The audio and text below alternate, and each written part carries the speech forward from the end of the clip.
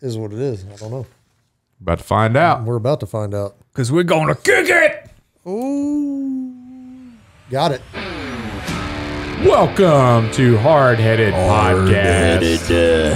This is your host, Chet Sears, and with me goofing around is Troy Three Shot Trussell and Matt Amos. We're so glad you're with us. Um, what Yes. a, what a fun time of year. Uh, we're going to talk about the wonderful holiday of Thanksgiving today a little bit. Because cause it's Thanksgiving. And we're going to talk about the top three Thanksgiving foods. Oh, I'm getting hungry just thinking about it. And then Troy's going to have a good word. Yep. Okay. Yeah. But Matt, you're going to give us the framework to think about what's on our mind right now with uh, this wonderful holiday. Well, you know, it is Thanksgiving, Yeah. Turkey Day. and uh, I'm just really thankful for some things that have happened of late. Uh, one of them being um, getting back from Montana and having some warriors up that absolutely slayed some elk and processed it, turned it into some really good eats, um, as Chet knows. Um, and he, he knows about the summer sausage. He even texted me and said, knocked it out of the park. Yeah. I is, that the, word- is that the terminology? Where's my use? log of summer sausage? Uh, You give me a freezer and I will give you some Yeah. meat. Hey, you Chet, remember, Chet needs to give me a freezer. you remember that freezer? you remember that little freezer I was thinking about giving to you? yeah, you gave it to somebody else. Traded it. Oh, Yeah. I traded it for some meat. so you got it? Yes. Yeah. I literally He, he traded. We traded. I literally pulled into town. Like I, I'd driven from Montana to, uh, what is that, Limon, Colorado, Yeah. and I'd been debating spend the night, but I was like, ah, I might just go ahead and push. Ended up, nature was calling. I was like, I'm gonna get a room, get some food, ate, slept. Did, did you sleep in a Best Western and get Domino's? no, I slept in a Holiday Inn, but I, it was already Oh no, no, I'm sorry. Yeah, it is Holiday Inn Holiday Inn Express. Express. Um, but I, I got there too late for Domino's. Yeah. And I don't think Limon even has a Domino's. I don't. Limon doesn't have much. They have more than I thought Yeah. with those hotels right there. It was a pretty nice little setup. Um, but then the next morning, I, I finished the last, I think it's seven hours from, from there, maybe because it's an hour to Limon from Denver, something like that. Yeah. And uh, I, I pull right into town, um, get to my house, pull out the meat, open it up, and I'm like, oh, it's already starting to thaw a little bit. Open up my freezers, completely full, like zero room whatsoever. And I'm like, "Ah, I don't have room for this. And the thing Oh. was, the guy whose whose summer sausage it was that we made it for, it was his elk. He left camp and left all of his summer sausage in the freezer. And Chase was like, I don't have room for this. I can't, I can't keep it here. I'm getting ready to butcher a steer. Uh, Chase is the landowner. He was like, so it needs to get out of here. And I was like, well, I have that cooler that I brought all the meat down in. So I'll just throw that in there and I'll try to find a space for it when I get home. Well, there was no room. And so I was like, uh, I'm looking online for a freezer. There's no. There's And so shortage. they, they had some, but not exactly what I wanted. And what I wanted won't be until March. And I was like, okay. Oh. I was like, so the meat's not going to last till March sitting here in the garage in a igloo. So I was like, hey, Chet, do you have any extra room in your freezer? And he's like, yeah. And then he's like, well, or I have a freezer you can have. And I was like, how about we trade? Yeah. So we made a little meat trade. We made a meat trade, which is really cool because you know trading. That's just cool. No cash exchanged. And then later that day, I'm at a deal. Uh, one of the things that we're wanting to do at our deer camp is uh, get an outdoor stove. So instead of having like a fire pit, um, especially during deer season, because you get all smoke smelly and all that kind of stuff, we just want to have some heat where we could sit outside and eat and whatever else, but then pipe the smoke away. And uh, so we, you know, had this idea. Let's just get this stove. And then there's like this old tank or something around there, and, and Jeremy's like, "Well, I got a buddy of mine that can, you know, cut that thing up and um, make us a, a uh, like a stove out of that, you know, and that way we don't have to go buy one. Because I was looking on like marketplace or whatever, and that night bump into his friend, uh, you know, and uh, I'm like, oh be. man, has Jeremy talked to you yet about this? Uh, the night that uh, traded, you know, Matt for the the freezer. And uh, so, did Jeremy talk to you yet about you know making this, cutting this thing up with your plasma, whatever, and uh, doing some welding for us? And he's like, "For what?" And I'm like, "Well, we want to make this stove for our deer camp." He's like, "I have an old wood burning stove, but it's got like a little crack in the back of it, and it would only be useful if you used it outside, you know, because you don't have to worry about carbon monoxide." I'm like, "That's exactly what we need." He's like, "Well, heck, I I don't need it. You could just you know come." Pick it up, and I'm like, I don't feel good about just taking some. How about I trade you some meat for it? You know, he's like, really? And I'm like, yeah, I got some, I got some ground bison. I'll, I'll trade you for that. And he's like, oh, that'd be awesome. You know, so I made two meat trades in one day. A Nice. record, a record It's, for me. it's like the new currency. yeah, Elk meat. Elk. Well, I didn't. Even, I don't I even got- think I traded you elk, other I than the get the summer, summer sausage. sausage, You got alligator. gator. You got bighorn sheep roast, Yes, a bighorn sheep roast. Wow. Elk, Uh, elk summer sausage. elk summer sausage. There's one other thing in there that um. Oh, uh, uh, pork, Oh yeah, yeah, gra- uh, breakfast sausage. Uh, from- and there should have been hog. a pork loin from Hang a on. wild hog Oh, in the white package. okay. But I'm game. Uh, wild game. Hang on, I'm texting my sister right now when she cooks that sheep roast to invite me over. She, I cook wild game in our house, uh, unless it's Mhm. ground. Well, So Ashley doesn't cook roast either. you know, Hannah doesn't like roast either. I didn't say Ashley doesn't like it. She just doesn't cook it. Oh, Hannah doesn't even like it. Yeah. So So I eat it all. you know, being that you know Thanksgiving is upon us, and I Did you say up on us or up- upon us? upon us. upon us. Because like you know, come at me Thanksgiving. He's all up on me. I'm getting ready to shoot it. and I, I didn't have um, much success in the way of turkey this year because normally I would have a, a wild bird that we would be able to cook. That did not happen. And while we were in uh, Montana, this was like my first time ever actually just like cooking for everybody for the whole thing because I was just like, well, I'm going to come up. I'm not going to hunt. I just want to help out. Well, what can you do? And I was like, I can cook. I was like, Are you sure? And everybody kind of doubts, you know, they look at me and they're like, mm, maybe not, you Yeah. know? and so um, blew them away with my cooking skills, but I also learned some in the process. And one of the, um, one of the dishes that was made was called carpaccio. And what you do with carpaccio is you you take an elk tenderloin or venison tenderloin, but it's a red meat, whatever it is, tenderloin. Slice it, you know, freeze it a little bit, slice it extremely thin. The freezing allows you to slice it. Yeah, allows you to slice it real thin.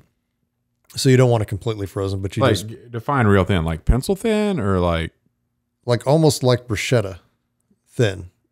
You know what bruschetta is? that's Mhm. bread.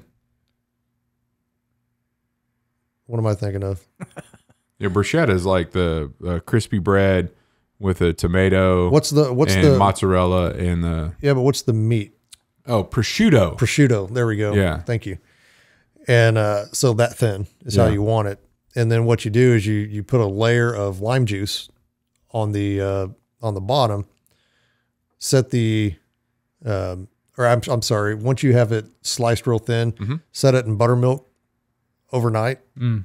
Next day, pull it out. Buttermilk and uh, baking soda, and baking soda breaks it down, makes it real tender. Um, same thing that you would do with the gator. Mhm. Um, so I would soak it the night before with um, just in water and baking soda, breaks down that muscle tissue, and then soak it for at least eight hours in Italian dressing before you fry it. Mhm. And you'll have something that's almost as flaky as catfish.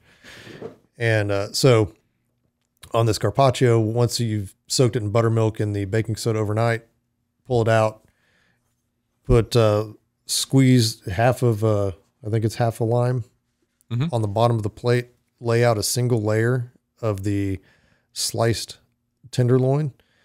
And then over the top of that, you put balsamic vinegar, more, or sorry, more lime juice, balsamic vinegar, olive oil, and then top it with uh, green onions, shaved Parmesan cheese, and capers, which I never in my life uh, I didn't know what a I didn't know what a caper was. I mean, I'd had it on steak, but I, I just thought you know I didn't know really know what it was, and uh, it, it's funny because the guy who's teaching the recipe he was the same way. Um, it's Kevin Yeah. um, was the guy that's teaching me this, and uh, he goes, "Man," he goes, "They laughed at me too." He goes, "Don't worry about it." He goes, "The first time I saw it, I go, who, how, how do you do these pickled peas?" That's what he's Yeah. calling them, pickled peas. So, uh, but we get the capers, put it on top, and I'm not a, I'm not a sushi guy. I do not like sushi. Um, I've tried it all, just not my thing. Um, and so I didn't know how well this was going to go over with me. Um, but I tried it with some convincing and Good stuff. really good. Yeah. Yeah. I was I was literally surprised. And we didn't even have the good crackers, you know, that come in the box. You know, we had the ones that come in like the plastic wrapper, you know, and we're eating it on the on the cracker. It was it was really good. And so that's that's one that I'm gonna I'm gonna try. I know that nobody at at, at uh, is gonna want to try it, you know, for Thanksgiving. Um, I'll try it. but my wife and kids will eat it, but I don't think any of my in-laws or uh, my my folks are going to want it. But super good recipe, um, super easy uh, as well to try to do. And so this year, I think I'm switching it up for Thanksgiving. Yeah. I don't think I'm going to go with the the uh, traditional turkey because I, looking back, I think every time that I've had turkey, um, the last three times I've gotten violently ill. Hmm. So I think I'm done with turkey, and I think this year I'm going to do brisket and pulled pork. Yeah. Yeah, Good choices. because I'll be using your pork butt recipe. Mm-hmm. Um, the, the only question I have for you on that though is is when, so you've got the California tri-tip Yep. Seasoning, Mm-hmm. and then you have the Yardbird Yep. seasoning. So do you add the Yardbird First, first, coat it. and then put the Uh, let that tack, yep and then then go back with the California tri-tip. And, Okay. and and that's a not a coating. That's a those light? Mhm. Okay, because the the problem I had with me- that, medium. Depends on the size of your pork. well, butt. the problem I had with it was when I when I wrapped it. Now it came out great. I mean, it was really really good, but that Yardbird wanted to stick to the aluminum foil when I peeled it back. never had that happen. No, No. it's almost like there was a glaze that it almost just like, and it could have been fat that just Yeah. melted to the whatever. I don't know. Yeah. It depends on how much I, I trim Well, and I, I did too on that one. fat off. Yeah. I, I trimmed it to where there was nothing left, but yeah. could have been just me. I got. I have a really good brisket recipe too. If you need any help there. I might, I might, and more of that is just probably the right size Yeah. because I, I don't think the bigger ones do as well as a kind of a medium size Well, one.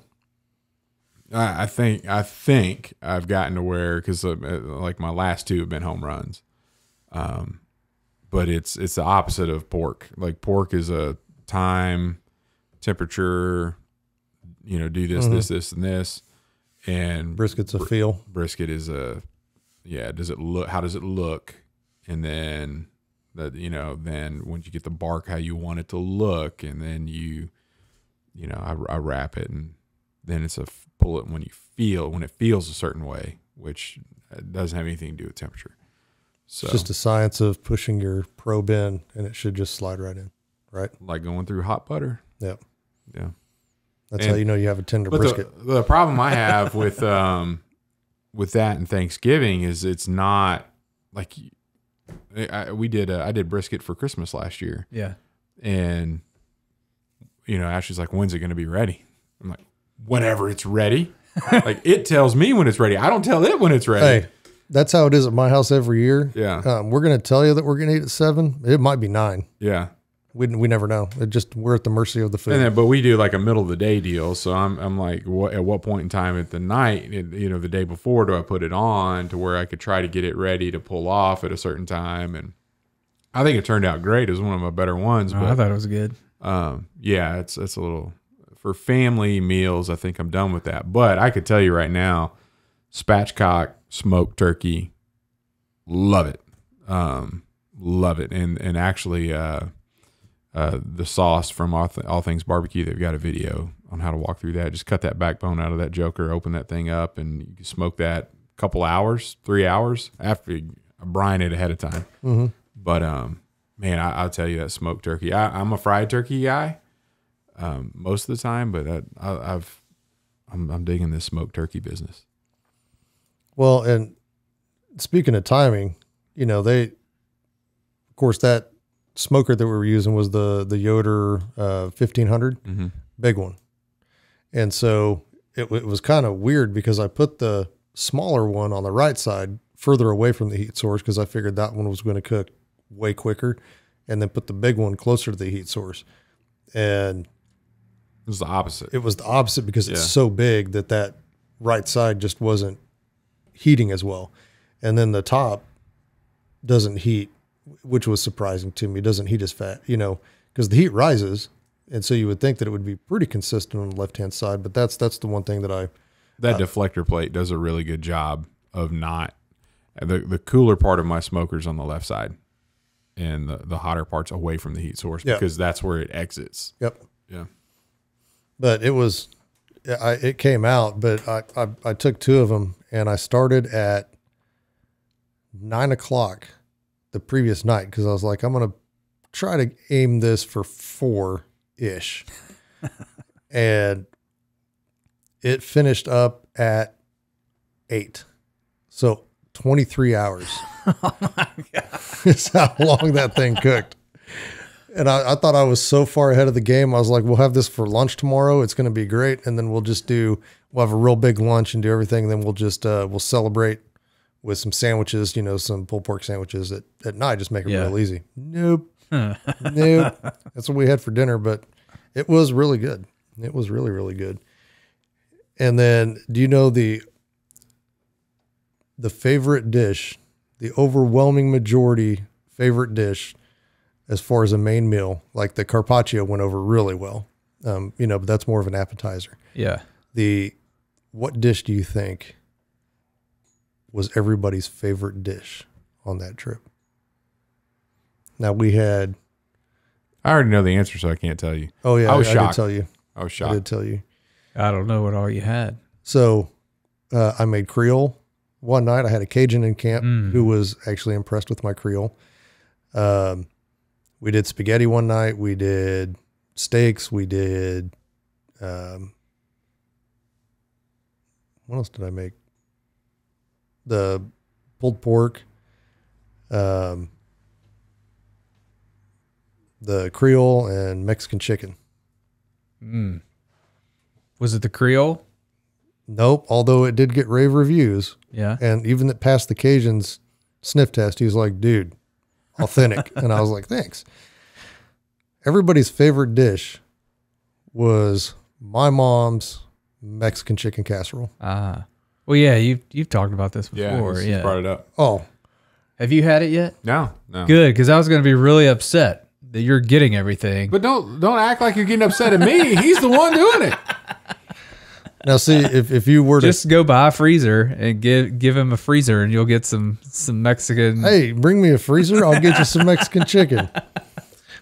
But what what's funny is, uh, you know, you got all these all these guys that are there, you know, and uh, um, most of them were special operators, and for the most simple dish that I cooked all week to be the favorite was pretty awesome. And so I had to text my mom. I was like, "Hey, just so you know, your Mexican chicken casserole was a, was a fan favorite. Like it was everybody's favorite meal of the week." And she's like, "Oh, really?" She's like, "Grandma, be you know, Grandma would be really happy about that because she's the one that gave it to me back in like the '60s." And I was like, Yeah. Wow. I was like, I thought you got that off of the back of a, a, a Doritos bag, like when I was a kid. And she goes, No, Did Yeah. So I was like, holy cow. But that was uh, super good. And It was proven. and even the guy that was lactose intolerant, he's like, oh, I got to try that. I'm gonna risk it, boys. And I was like, I was like, so well, when he, because I, make, make way to the bathroom. All right. taking, So I- taking a risk. Well, I had, you know, because we take into consideration everybody's dietary needs, Yeah. you know, and so I was like, I, I had some extra stuff for him, and I was like, I can cook this up for you. And he goes, No, I think I'm going to try that. I go, What? Are you actually lactose intolerant? Or you've been messing with me this whole time? And he goes, Well, I pick and choose uh, what I'm going to eat. he goes, I'm I'm picking to to eat that one, and I was like, or I'm choosing to eat that one. I said, Oh, Yeah. okay. As far as I, he wasn't driving home the next day, so and he'd already tagged out. Like this dude shows up into camp never hunted elk before.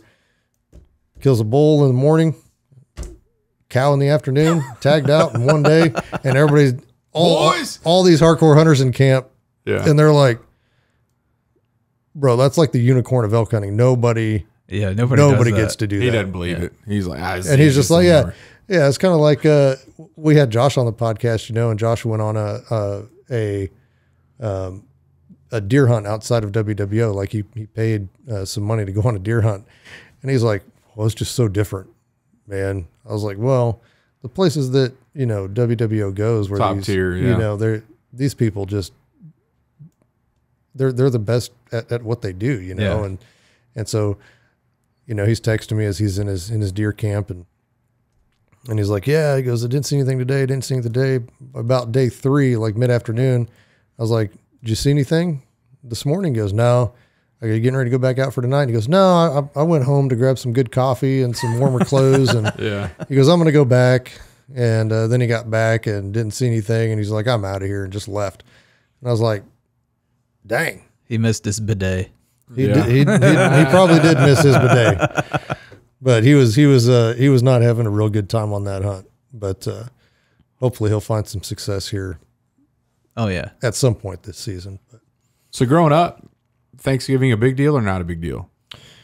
you know, we we always went over to um, grandparents' house, you know, and so we we would all they were always pretty pretty big deal. Yeah. lots of people. And, you know, even when we were in the military, you know, I, we'd make, we'd try to get home for, for Oh, wow. Thanksgiving. I think Yeah. there was a couple of times we weren't able to make it home. And so we would do it there, um, wherever I was stationed. I know I was deployed for one Thanksgiving. And then, uh, you know, same with Christmas too. It's always a big Yeah. family, family ordeal. Tell me about your family's Thanksgiving. Oh, always a big deal. So we, my dad's mom, lived about an hour away in Lodi, Texas, out in the middle of nowhere. She was a cattle rancher, and uh, she would have her two sons and their families. And bigger than that too. Yeah, and well, that's how it started. Yeah. when I was really young, it was just us. Yeah. And Those then Rick and Roz and yeah. Yeah, and then just more extended families started coming, and uh, every year, and it just got bigger and bigger. And uh, I guess probably what 30, 35 people there Or more. Yeah. or more. Yeah. And uh yeah, and you had to be there. Like Granny laid down the law, and if you weren't there, you got reprimanded the next year. Like it, it came it, I don't know how far in the relationship I was with with uh your sister when it was like, "Hey, I'm just concerned about well, that way our listeners know that I'm married to Troy's sister and It always just sounds like a slam every time. I don't know how far I was along in that relationship with your sister. anyway. But uh it came Every up. time he says it. it came up like uh I don't know what your family does for Thanksgiving, but I can't do it. Like I, I I have to be at my my dad's mom's house, my granny's house Yeah. for Thanksgiving, or else it, there's major consequences. Like this is a so hopefully your family doesn't have the same scenario because we're we're never going to be together on Thanksgiving. Like it, Yeah. it was a major major deal. Yeah. And I skipped one time. You skipped the time that the oven broke. Yeah. And I was glad I skipped. Yeah. But I think the oven breaking saved me because Granny was so worried about that Yeah. that So she didn't she didn't notice that I was gone. Troy scored tickets to uh, the Cowboys game, and, and Dallas Cowboys always play on Yep. Thanksgiving. And uh, so he's like, yeah, I'm not. I got tickets, and we're like, you what? Like you're not gonna be there? I think that was my first one. I'm not sure. I don't remember. Relatively But my other saving grace was the Cowboys were her favorite team. Yeah. So, But it if I was going anywhere, that's that's where you. the strategy going in though was we're just not gonna mention that Troy's not here. like we're gonna see if she happens to notice because you know it's a relatively small house. There's everybody's in the rooms everywhere and everybody's outside. There's just people everywhere. She's putting on the meal, and maybe she won't notice that she hasn't seen Troy. So everybody just keep your mouth shut. Nobody can ask where where's Troy. Just be quiet. And it took hours before she realized it, and then like, oh, she's like, oh, he's she he's watching my boys play or something like Yeah. that. But the oven, this is this is a hilarious thing, um, was uh, the oven broke. Stove didn't break, but the oven quit working. Same, it was a range, you know, and um, the, I don't know what was going on. People had it pulled out from the wall. I'm not like in the family yet, you know. I'm just like the Ashley's other person, and so I'm just there, you know, like what can I do to help? You know, I'm not gonna jump in with the uncles and try to fix a, a an oven, but the stress level is like boom, like straight up because she didn't know the oven wasn't working. The turkey has not been cooking. We're we're running into some issues, and uh, and uh, so I'm like standing around, not in the way, but just like, is is there any opportunity that I would have here? Figures standing around. Yeah. And she's like, Can somebody go get me? I've got a roasting pan in the shed behind the whatever. And I'm like, I'll do that. You know, I can go get something. So I went running out there, found the shed, huge roasting pan. You know, she's like, I'll just, I'm going to put the turkey in the roasting pan and I'm going to put some water in there and I'm going to put these things on the burner and it's going to, you know, so I come back with the roasting pan to just let everybody know about the issue of the dirt daubers have claimed the roasting pan in this shed that had no door on it. And it was coated inside and outside just dirt everywhere. And i just like hey is this the pan that you want? And she's like oh my gosh somebody clean the inside of that out you know? And i'm like i okay. And i go out to the hose and i start you know scraping and wiping mud away. And and i get the thing as pristine as you can get lid and all uh, on the on the inside, but she was specific. Just clean the inside. Don't we don't have time for the outside. So I bring back this very clean roasting pan on the inside that's got pine straw and dirt all on the outside. And they're like, "Granny, you know, we got to clean. We don't have time for this." She's you know, it's way up there. We don't have time to clean that. You know, so she turns all the burners on on top of the stove and it, on high, throws the turkey in there, pours water on it, and does some other stuff, puts the lid on it, and sets it on top of the stove. The outside of the pot catches on fire because of all the debris. Right? I was So we waiting have- for that We actually. have flames and smoke, and somebody uh, was like, "Granny, we can't let that." And she's like, "Let the damn thing burn!" You know, it's just yelling, and uh, I, I knew I had arrived. I said, "I we are now at a family event with my new family, and this is going to be talked about forever." Because Granny cussed, and it was stressful, and I think Buck or somebody like actually did something and fixed the oven, and everything was saved. Uh, but it was it was very touch and go there for a moment. Moment. was, that, was that Uncle Buck? Yeah, that's my Uncle Buck. Uncle Buck saves Thanksgiving. Yeah. That's a movie. There you go. But me growing up in uh, military family, we didn't have any family in the state, you know, wherever we were. So we uh, we would go out uh, for Thanksgiving or like uh, eat at a restaurant somewhere or um, have a fish fry. Uh, nothing. Oh, yeah. nothing traditional. Like it was just the four of us and had a good time. It was kind of neat. So Yep. I kind of broke that tradition when I joined the military. Yeah. It was like how, you know, and so it was always stressful, you know, trying to pack up everything, come back home for for that, you know, and then oh, we're going to come back for Christmas too. yeah, you just gotta. I don't know. Do your own thing, man. We do now. I was like I've been coming to y'all for the last 10 years from California. Right. Guess what? I'm retired now. Y'all are coming to the house.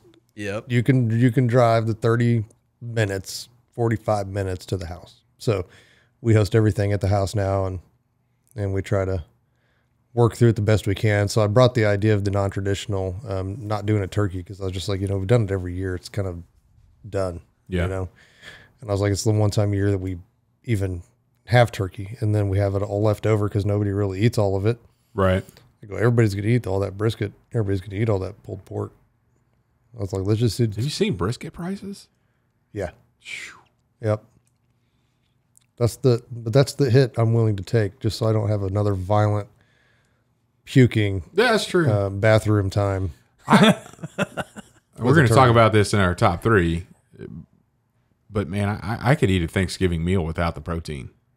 Oh yeah. Like Easy. all the sides, you know, cook the turkey. Y'all could eat the turkey. There's plenty Yeah. enough here for me. Oh yeah, we. I mean, and that's that's what I'll do. You know, because again, I know that I'm basically going to be one of the only one that really eats it, uh, other than my family. But you know, I've got um, summer sausage from Nil Guy made up. I'll slice that and you know get some cheese and slice slice the cheese up, put all that out on a nice little appetizer tray. Um, this year, I'm going to add to it and put the carpaccio out there with the uh, appetizer tray, and uh, just see how that goes over.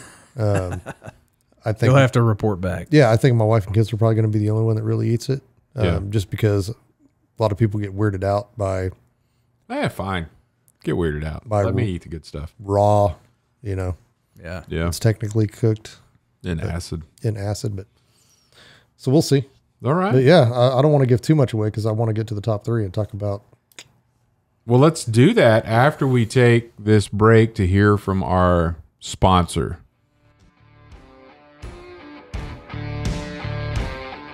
Seventeen eighty three, the first victory. Victorious in war, this year sees America earn her independence. At Admiral's Pennant, we celebrate victories at the end of war. 1783 is the first of many such celebrations in our nation's history. This is an elegantly refined blend of sandalwood, cedar, and tea tree. The subtle, lingering woody scent of the sandalwood, light cedar, and the top notes of tea tree is the essence of masculinity, honoring the men who fought and continue to fight to provide us our independence. Check it out at admiralspennant.com. Without it, you might as well shave. And we're back. I got him. Oh, I saw him wanting to Gave do you the head fake. All right, top three Thanksgiving foods. Troy, we're going to let you lead off with your top three. All right. No honorable mentions. I don't have any honorable mentions. I only Knows, knows what he likes. my favorite top three. Number three, green bean bundles.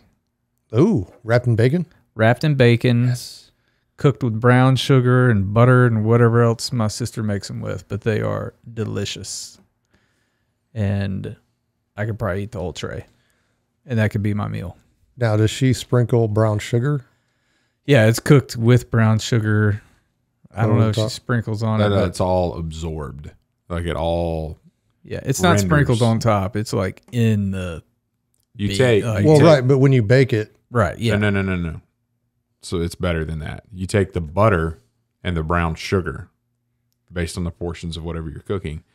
You, well, you heat the butter, then you pour the brown sugar into the butter, and you stir that up where it's a sauce, yeah. It's like and then you pour that sauce over the top. Yeah. over the yeah. delicious. See, I like mine uh, because I I did make those for the guys um, on steak night. So we had green bean bundles. I did a shrimp boil. Okay, Uh, yeah. Yes, in aluminum foil. it was. now, You cook shrimp in aluminum foil. however you want to say it, Chet's boiling right now. but that was one of the things that that I think I showed it to you before I left. I was like, I really want to try this, and all you do is, I mean, there's a lot of butter, you know, but you you stick the butter in there, and then um, put a little andouille sausage. Um, yeah, we do that at home on the grill. yeah, So- Yeah, just oh, little foil packets. Yeah. just fill it up with And I was whatever you want. Throw some butter in there, and yeah, little Old good Bay. stuff. Mhm. And then so Not we, a boil. we had that with No, the not a steak, boil. with the steak, and then the the bacon wrapped green beans. Yeah. That was really good. Yeah, Bundles. They're bundles. It's not bacon wrapped green beans. Green bean bundles. Whatever we call them bacon wrapped green beans, but super good. I love it. I just I don't do the I don't do the brown sugar because again I don't like sweet and meat. They just for me they don't mix. So yeah. I do not like bacon wrapped dates. Have y'all ever had those? I've Big never thing even at- heard of such a I, thing. I've kind of made it a life goal to stay away from dates. Yeah, it's it's Like a I, there's, I've got no need for dates. it's one of those hors d'oeuvres that's like I guess really fancy because at a lot of weddings they'll Yeah. pass those or like Ever since that I, uh, I don't dig them, dude. I, I I I have never swallowed one. I'll say that. Indiana Jones when he was Ugh. eating the date and that monkey is poison dates. Yeah, Yeah. I'm like, I'm not. I'm staying away from this. That's that's how assassins poison archaeologists. And monkeys. and I don't have a monkey to I taste mean- my food before I eat it. How many people are using the bathroom after eating a date? Because isn't that something you take to be? be Those are prunes. Prunes. Oh, prunes. But isn't a date a dried prune? No, What's a date? A date is its own fruit. Is it? Yeah, a prune thought- is a dried plum. I don't know. I don't know. Whatever. Okay. We need a professional chef on the show maybe to help us out. with Or some of just these somebody things. with Google. We don't have one of those. No. Yeah. All right, number two, deviled eggs. Oh, yes, that should have made my list, and I didn't even Yeah, think about just- it. Yeah. Yeah, those are my absolute favorite. Oh, I could eat five. Um, well, actually, they're not my favorite because they're number two, but they're gotta have them. And over the past probably ten years, I've been in charge of of making them for everyone. So, You know why? because my aunt Charlotte passed away, No, why? because that it wasn't immediately Troy. You have to take this over. That's true. It was because whoever else made them would, you know, naturally all the food shows up before it's time to eat, right? Well, Troy would be in the fridge eating all of the deviled eggs. It's true. So then when it was time, like, oh, let's make the make every you know the buffet so everybody come and eat, half the eggs were gone. And there wasn't enough to go around everywhere. And it was Troy's fault. So they were like, Troy, you're making the eggs now. So what he does is he makes enough for everybody and some for him to eat. like a personal stash. yeah. Yeah. absolutely. And in the And it, wor- personal, it works out because there's plenty. He brings plenty. Yeah. And he's full of eggs before he shows up.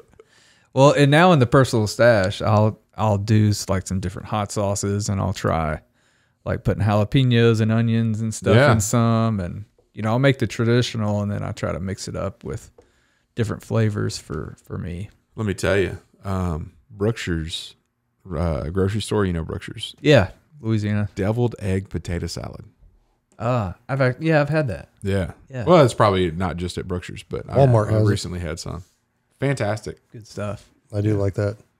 Love deviled eggs. So, so why is it that that like if I have just like hard boiled eggs, you know, I max out at about three before I'm just like, I, I just can't eat anymore. But when they're deviled, I can have like a thousand. Like, right? what sense does that make? Yeah. I don't know. Maybe it's like some something that you mix in with the with It's- the it- yolk. They're, they're creamy. It's it's the the, the consistency is yeah. yeah. I don't know. It breaks down faster, maybe, in your gut. Who knows? Yeah, maybe that's it. I don't know. Uh, just a boiled egg yolk is it like it gets chalky. And my you know it's like Oh yeah. you know, so it's that extra stuff, the magic that you put in there. Yeah, makes them good. yeah. All right, number one, cheese grits. Ooh, yeah. Ooh, that's good. They are so good. My mom has made them for years for Christmas, and now I may make her make them for Thanksgiving and Fanta- Christmas. Fantastic. She shared the recipe. I can't do it like she does it. It they're just phenomenal. I, I could sit there and eat the whole bowl of that as well.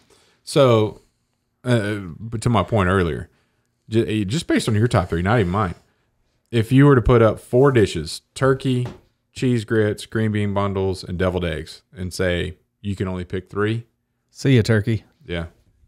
Get out. I could do that easy. Yep. Yeah. It's my top three. I love them all.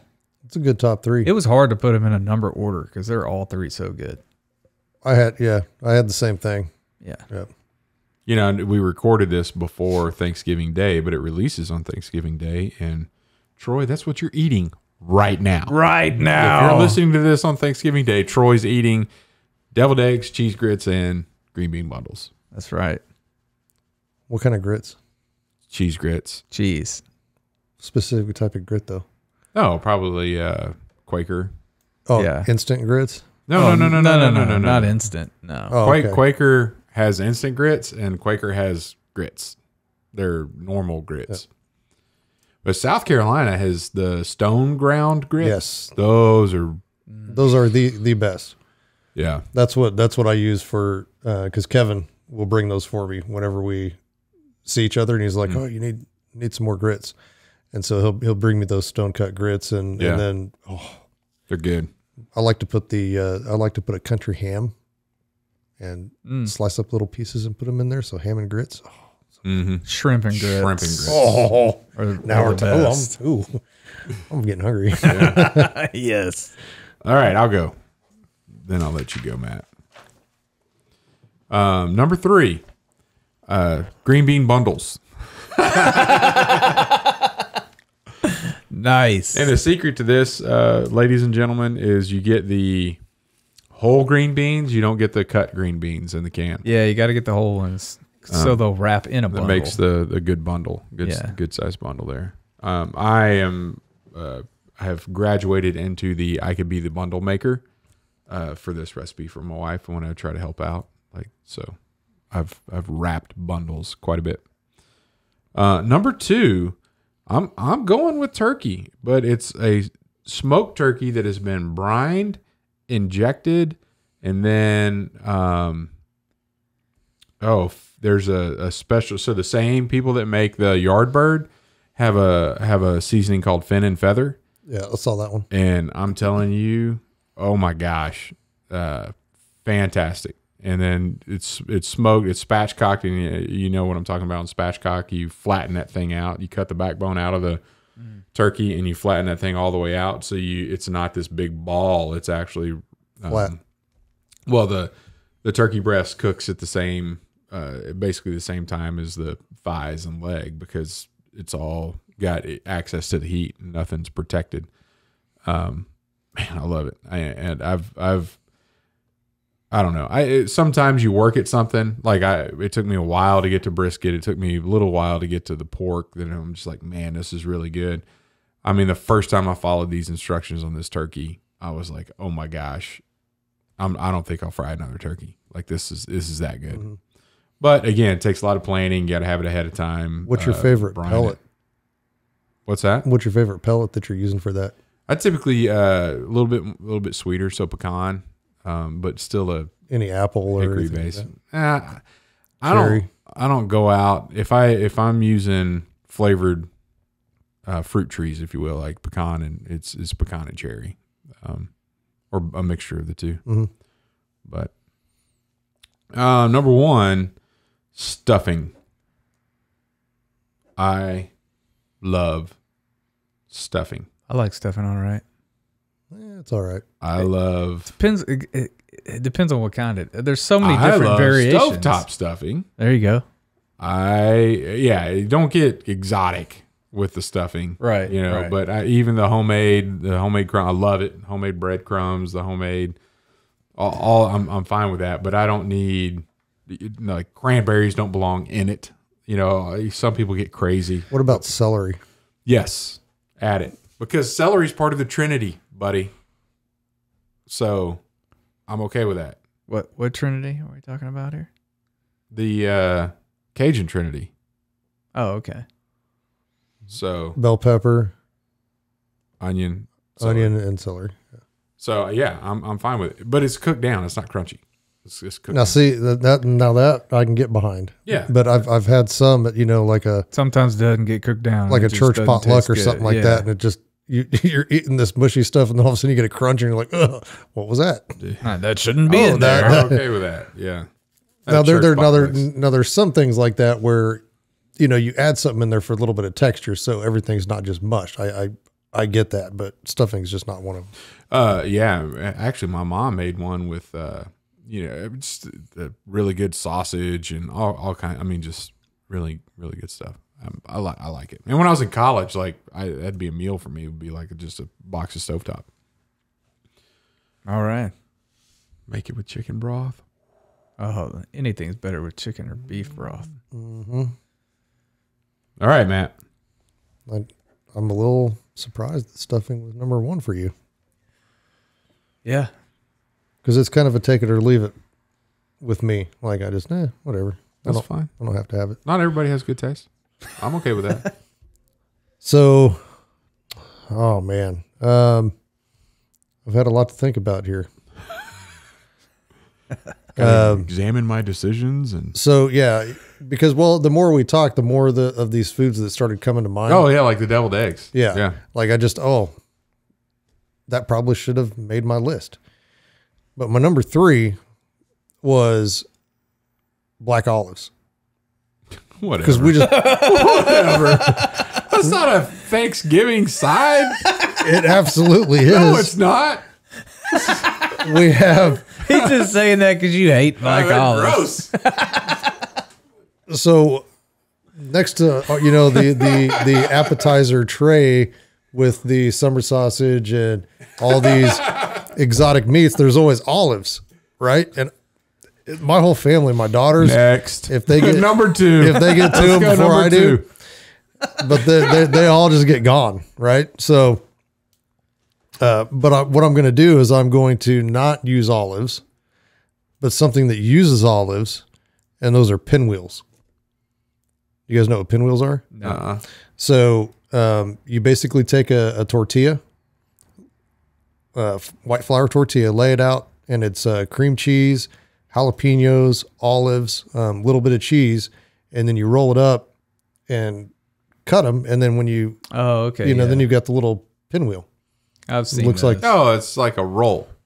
Yeah, yeah. Yeah. But it, we we call them pinwheels, and I can plow through those, especially after they get taken out of the fridge and they're sitting on the counter for a while and they get to room temperature. It and that- almost sounded like the uh, avo- uh, the seven layer dip that you make with It's- only six layers on one side because you cut the olives out for me. for Thank you. you. Yeah, you're welcome. It's it's yeah, it's almost kind of like that. Um, Yeah, minus the avocado and yeah, bean. Refried yeah, bean. Yeah. yeah. So, Those sound good, man. but once they get to room temperature and that cheese just So starts to get a little warm, Pin, pinwheels, your number three, not black olives. yeah. But we have black olives in the pinwheel, so I can kind of get the black olive in there. So, yeah, I need that recipe. Yeah, I mean, and they're so super, and that's all. That's literally all it is: is cream cheese, jalapeno. Do you chop up the olives and jalapenos before you put them Yeah. on the flour tor- tortilla? Yep, yep. So you just kind of chop them all up. Okay, sprinkle it on there and then roll it up. Well, You, for the jalapenos, you cut them up like this, and then you spread them out over the tortilla. Well, For what the you would black do olives, is- you is- cut them up and you put them in the trash can. you would take you would take your your bowl and put all your ingredients in the bowl, mix it, Mix all, it up, all up. and then spread it, and then roll Yeah. the tortilla, and then slice. Super super easy, super good, Mm-hmm. and we always never have enough because those are always one of the first things gone. I bet if you sprinkle a little garlic powder in there, it'd be good too. Yeah, I, Mm. the the options are endless. Knock yourself out. Dude, I'm gonna make something tomorrow. Yeah. You could probably make a little, uh, you know, put a little Louisiana hot sauce in there too. Oh, And put a little uh, carpaccio in there as well. Ooh, I don't know carpaccio going there. no. Yeah, no. All right, number two, green bean casserole. With the uh, crunchy onions on top. Yep, Oh yeah. the fried onions on top, Yeah. and I, like know that's that. a point of contention because you know on on a lot of the the posts that you see, everybody's like green bean casserole sucks. No, it doesn't. But so you mentioned it, some of it does. So you mentioned church potluck. Yep, I've had some terrible green bean That- casseroles. And, and, and there's there's typically more than one person that brings green bean casserole to a church potluck. There's always one that goes first. Yeah, because there's such a big difference. And sometimes Yeah. some one of them's just uh, didn't get finished. Well, that's know? the same thing with stuffing. I mean, there's Yeah. there's just different ways to cook it. Yeah. So But I, I'm I'm with you. Now I, I will tell you this: once green bean bundles came into the, the to the mix, you, you don't need green bean casserole. Right. I love a good green bean casserole. In fact, I miss anything that requires those little onion things. You know, should get should get some notice, but you can't have two green bean dishes. And and, and in our in no, our you can. family, in our You can. family, it's it's the bundle. It's the bundle. You you can definitely have both. And uh, what's funny about those green bean uh, bundles, as you gentlemen call them, um, That's what they're called. Bundle. Sorry. I just call them bacon wrap green beans, but whatever. well, what do you do? Just to, how many green beans are wrapped in a? In a bundle, You get no in your recipe. five. A bundle of green beans, you mean? Because you bacon wrap green bean could be a one wrap of bacon around Green, every green, green, bean. beans, uh, plural. It means more than one. We went over that uh, with aircraft and aircrafts. Uh, True. But yeah, and, and actually, I learned that recipe from uh, Charisse. I'd never even thought about it. Charisse is uh, kind of my partner there on uh, WWO. WWO. Mm. Um, does a lot of work and is a phenomenal cook. And so she's the one I learned that from. So that's why I tried it for those guys for the first time. A big hit too. But uh, I still I still got to go with the original green bean casserole just because you know the way my family now the difference is on green bean casserole. Do you use the whole green beans or do you use um, the shredded green beans? I wouldn't. I, wouldn't use the shredded. If I recall, the best one, and I remember it, where the church I grew up in, both. ah, They a were mixture. shredded and whole. See now, I don't, uh, I don't like the, uh, I don't like the whole. I like the shredded because you get more of the cream and mushroom soup in that flavor. Yeah. I don't know. I like the whole. I'm, yeah, I'm not a fan, but e- to each their own. It's just one of those. I might little- have to try to make some with the mix. Yeah. Yeah, I can't. It's a texture thing for me. I don't know why. Mm. Maybe just always growing up, I had the shredded green beans. And number one, mashed potatoes and gravy. I almost. What, had- what, what color's your gravy? Uh, a yellowish brown almost. Uh, because we take the we take the fat from the turkey and then make the gravy out of that, so it's just kind of that color. Okay. But man, and and I I still we have not perfected it um, in my family the way that my grandmother made it Yeah. because her gravy was out of this world. I'm going to ask you a few questions on the mashed potatoes. Are they whipped with an electronic device? No, Okay, so they're not. we don't we don't have like an electronic whipping device. So you're not taking the. We take a potato masher Yeah. and mash What else is in the potatoes? milk, That's it. butter. salt, Man, butter. man, I'm about to up your game. You ready? Yep. Sour cream. Mm-hmm. Let me Yeah, Yeah. I yeah I remember a little bit of that. Cheese. shredded cheese. Yeah. Now, not pre-packaged shredded because in order to keep pre-packaged shredded cheese from sticking to itself, they coat that cheese with a wax. Mhm. So you have to get a block of cheese and you have to shred it yourself and you because that'll incorporate into the potato. See, we're not So much uh, better. We're not So- real fancy at my house. So much so- all of my cheese is block cheese that we have to shred ourselves. So, um, but but you won't know. You won't know there's like cheese in it because you mix that in while the potatoes are still really hot, and I'll. Yeah, That was almost on my list.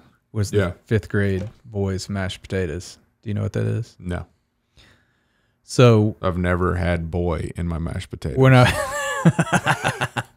when I was in fifth grade, A little weird. our Sunday school teacher would have oh, all all of us over, and his wife would cook for us, and she would make brisket and mashed potatoes. I'm potatoes and, liking where it's going. and other things. And these mashed potatoes that she made, we just we thought they were like blessed from Mhm. from God above and came from heaven because they were so good. yeah, And so she named when she, she I think she got asked to put something in a cookbook. She put her recipe for the mashed potatoes in the cookbook and called it fifth grade boys mashed potatoes. Oh no way. Because we like put her on a pedestal Yeah. because of these mashed potatoes. So yeah, Hollywood, if you're listening, thank you Yeah, her for name those mashed potatoes. is Holly, and she married a guy with the last name of Wood. Yeah, Hollywood. so her name's Hollywood. She makes the best mashed potatoes on the planet. Yeah, So- I'm gonna try those out. Yeah. I'm really impressed with what Ashley does. I mean, I like those. We have them quite a bit. And But it might they're be Ashley might have been And the one off- that asked her to put Authentic gravy is fantastic as well. Yeah. Well, and and it, and it goes back to, you know, previously, before my whole issue with whether it's gluten or whatever it is, but my grandmother made rolls, like homemade rolls, Yeah, yeah. and oh, like that would that would have been my number one mm-hmm. If you could still eat. if I could still eat them. yeah. Mm.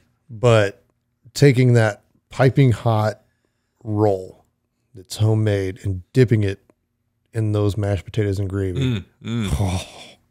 Oh, Yeah. I might just go get sick. Yeah. I don't care. like that lactose guy. Yeah. Yeah. I'm going to risk it, boys. I'm going in. Wait, don't you lactose? I'm risking it. But yep, so that's my number one mashed, mashed potatoes and gravy. Because then, even when you have like the cream corn or um, the green bean casserole, and you mix it into the mashed potatoes and gravy, oh, so good. you, you keep your green cream corn. Yeah. You don't like it? Yeah. Not it's not a Thanksgiving thing for like that's not something that gets corn corn casserole. Yes, but not cream corn corn casseroles? or just ever regular corn, but not cream corn. That's that doesn't belong at Thanksgiving in my opinion. corn critters? corn critters. Fritters. The fritters. Fritters. yeah, yeah. the critters. Those are We got mice. those little corn critters. Where are the little corn critters at? Let me have some of that. I'm getting ready to go shoot some of those here in a couple weeks. Yeah, back when uh, last fish fry I was at, we had uh, instead of hush puppies, we had uh, Fritters. those- yeah, it was really good. Those are So how how why are you just against uh, cream corn? Like what? Well, everything that we've talked about from a food perspective on Thanksgiving stays in its own place on your plate. Your green bean bundle is wrapped in bacon and in a bundle.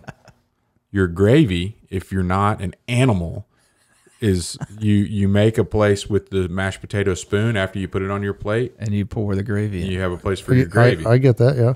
Um, what else did we talk about? Pinwheels, deviled eggs, cream corn doesn't keep to itself on your plate. It it propagates into. So does other- that gravy when you bit, get your first bite of mashed potatoes. It runs over the side and floods Well, here's the the, thing: gravy that runs into um, some cheese grits. That's not a bad thing. You know, it's not a great thing, but it's not a bad thing. Cream, corn cream, doesn't belong on a deviled egg. Like that can't happen. I don't Like, know. I, I guess I don't know what type of. What do you? What is the? What is the cream in your corn? I guess. That is just it's fluid. And that fluid, you the fluids are But what is the fluid made of? I don't know. The only fluid that Fifth belongs on a Thanksgiving plate, the only fluid that belongs on a Thanksgiving plate is gravy. That's the only one, and it should be thick enough where it's just not like blah, everywhere. But you put creamed corn, you, you get you get creamed corn on a um, on a like a Chinet paper plate, you know, the thick like a big family meal. Then uh, that thing's just soggy, and you can't even use that for seconds. I don't. I don't. I guess uh, we use uh, cream cheese Uh, for cream, cream corn. corn's always runny. at Any, It's runny. Any kind I've ever Yeah, had. mine's never. Ours is never runny. Well, um, I just hadn't had your cream corn, so I may be a little too harsh on my shoot down of your. Yeah, yeah, you might. You might want to try it because it's not. I'm it's not gonna try it for No, I don't. I don't like the. Yeah, because the the type you're talking about, I've had before at church potlucks. Well, they that- have cream corn in a can. There's cream corn in a can. Yeah. Well, no, yeah, no, That's No. like real runny. No, this is homemade where you put the corn in, put the cream cheese in a crock pot, and then it it melts, little salt, pepper, butter, and then scoop it out and it's almost like the consistency of mashed potatoes with corn in it, which is awesome.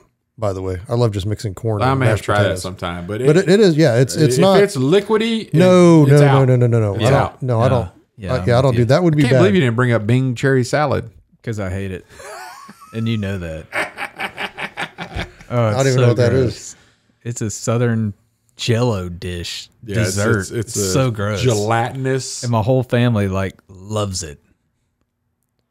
It's a gelatinous, uh, jello molded thing with nuts, uh, Coke, Walnuts, Coca Cola is in there. uh, Bing cherries, That's what it's called, Bing cherry salad. Uh, little marshmallows, or, or is that know. some kind of a cheesy? There's stuff in it. it's disgusting.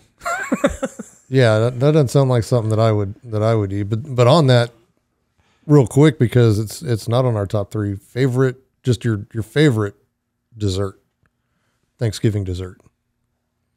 Oh, Mm. I don't know. I didn't have time to think about this, Matt.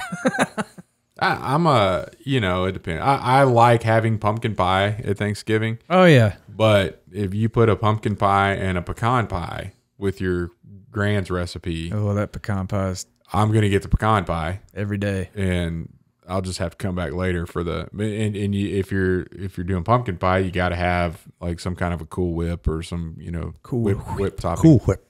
whip. Whip. That's hilarious. Um, so I don't know. Yeah, Yeah. It, yeah, my first thought was pie too, just any pie. At Granny's house, there was they would clear off the the dining room table, the round one in that round room, and load it with pie. After we all, all ate pies. dinner, Mhm. and it was like all different kinds of pies. So that's what I always remember. Just it's always pie. How about you? Before my issue, pecan pie. Mm-hmm. Oh, I could. That, that by far my favorite. Um, but I think this year, uh, because my mother-in-law is is uh, pretty renowned for. Um, oh my gosh, and I can't even think of the name of the pie. Rhubarb, Nope, strawberry, nope, lemon, nope. marmalade? key lime, Oh, I ju- almost I just had it and then you just took it away from me. Lemon ice box. snicker, No, it's got cream cheese, uh, cheesecake, cheesecake. Thank you. That's It's not. it's not pie. cheesecake pie. Cheesecake. But it is in a pie dish. But it's a pie- yeah. Pie slices. Yeah, yeah. But I think that's one I can handle, and, and hers is, is is really smooth, you know, and it, it's Yeah. it's super good. So I think Yeah. I might go with that. But I also like pumpkin pie. I don't know. Yeah. A, spi- a spicy pumpkin pie, like one that's got a, A little kick, like a yeah. Yeah. or you know, just some uh, really high end vanilla ice cream with Cheesecake. nectarine moonshine in it. Oh, there you go. That's for after dinner when it's time for everybody to go, and you're just like, I wish everybody. This is how we stay together. All right. Well, thank you for your top three, Troy. Yes. Man, we've got a good word. Yeah. So the good word on Thanksgiving is thankful. Shocker. Shocker. It's a good day Where did he just, pull that one? to just look at things and just be thankful for for all the things that God has given you and all the things that you have. Um, yeah. So I want to wanted to read Psalms 100, um, which is a psalm for giving thanks. So make a joyful noise to the Lord, all the earth. Serve the Lord with gladness. Come into his presence with singing. Know that the Lord, he is God. It is he who made us, and we are his. We are his people and the sheep of his pasture. Enter his gates with thanksgiving and his courts with praise. Give thanks to him, bless his name. For the Lord is good. His steadfast love endures forever, and his faithfulness to all generations. So there's plenty to be thankful for, and there's plenty to thank people for. No, absolutely. And that, that should be our spirit, you know, at this time of year. Yeah. is to just kind of step back and look at what we have that we did not create for us and be thankful for it. I definitely think that we should take more than one day Well, yeah. And we ought to integrate thankfulness into our daily life I agree. and use Thanksgiving as the model for that, where we're around family and friends. And even though it may not be the best of times sometimes with mud daubers taking over roasting pans and catching on fire and ovens Yeah. not working and you know all the little things that families have um, you know between each other i think you know we take that one day a year and we just we force ourselves to get along and, and typically have a pretty good time at it Yeah. you know, whether it's, you know, watching the football games after dinner or, you know, whatever it is, but spend that time with your family being thankful for them. Um, you know, how about we do that for our neighbors and everybody else all year round? Yeah. I like it. All right. Well, we are very thankful that you are listening to our podcast. we are thankful for our listeners. yes, very, very Yes, much so. are. So thank, thank you for tuning in today. We really do appreciate it every time you listen. It, I mean, you're taking time out of your day to spend with us, and and we're very appreciative of that. And if you have bought one of these spectacular hard-headed t-shirts or Which- any other apparel, By the way, very comfortable, great material. Um, not the cheap T-shirt uh, that some people are scared about getting when you buy something online. yeah, if you've bought one, uh, please share it on our Facebook page. We'd love to see the merch, the merchandise Merch in the wild. out there in the wild.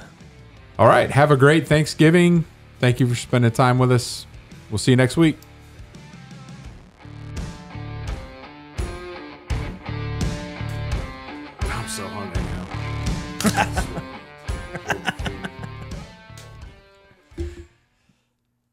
Like good food. You're eating it right now, Chet.